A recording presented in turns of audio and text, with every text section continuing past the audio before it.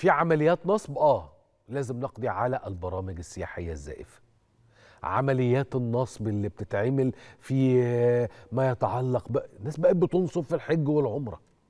اللجنة بتاعت الحج والعمرة أصبحت بتناقش مشروع نظام مخصص خاص جدا لحاملي تأشيرات الزيارة الشخصية والسياحية للمملكة العربية السعودية. طب أنا عايز أعرف إيه اللي بيدور في اللجنة.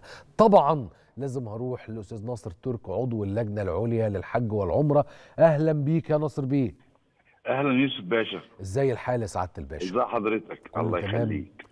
الله يخليك. آه قول لي بقى يعني أنا عارف إحنا لما اتكلمنا المرة اللي فاتت وقلنا لازم يتم اتخاذ مجموعة من الإجراءات وما إلى ذلك وأنتوا عندكم دلوقتي اللجنة وأظن بدأتوا تناقشوا آلية ما. آه، ناقشنا اقتراح رفعناه لمعالي الوزير وزارة السياحة حلو. انه أصلا القانون رقم 72 لسنة 21 حدد البوابة مختصة بتأشيرات العمرة والزيارات سواء السياحية أو الشخصية. حلو. إن دول لازم يبقى وفق برامج من خلال شركات سياحة. وأي شركة تخالف هذا البرنامج تتعرض لعقوبات تصل لحد الإلغاء.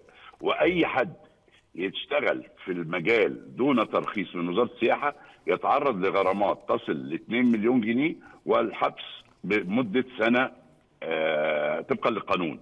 فمعنى كده إن إحنا لازم نفعل القانون. نفعل القانون إزاي؟ إن إحنا نلتزم إن الشركات تلتزم بتنظيم برامج وليس نظام إن إحنا نديله بس QR code لمجرد إن هو يخرج ويدخل ب QR code. لا آه. إحنا كده بنهدر آه، موارد للدولة لأنه أصلا اللي بياخد تأشيرة ده بيروح لمكاتب بيعمل بصمة وبيدفع رسوم بالعملة يبقى في الباب أولى إنه يطلع منظم آه، من خلال شركة مرخصة.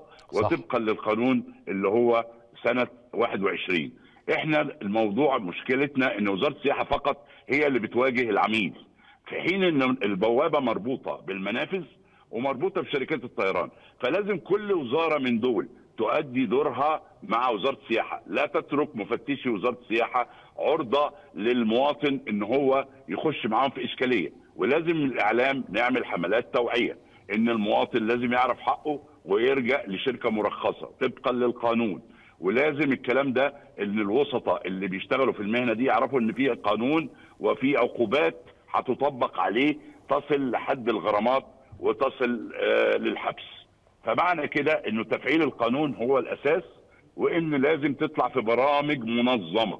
حتى ال- الدولة تاخد حقها بالرسوم والضرائب إنما اللي بيحصل لا رسوم ولا ضرائب والعدد اللي طلع لغاية دلوقتي 150 ألف طلعوا دون تنظيم. يبقى معناها إن إحنا عملنا بوابة ليه؟ طب عملنا قانون ليه؟ يبقى لازم نفعل القانون ولازم الدولة تاخد حقها طبعا. والمواطن ياخد حقه وكل واحد يبقى ماشي وفق القانون لأن إحنا دولة مؤسسات ودولة قانون. طبعا طبعا طبعا طبعا. بشكرك جدا ناصر بيه كل الشكر أستاذ ناصر ترك عضو اللجنة العليا للحج والعمرة. وأنت حتى كمواطن يعني خد بالك ما أنت لازم تحافظ على إن أنت تبقى رايح لشركة عليها القيمة وشركة مترخصة وتعمل لك برنامج وما إلى ذلك. ما تخليش حد يعمل عليك سبابيب. ما تخليش حد يعمل عليك سبابيب.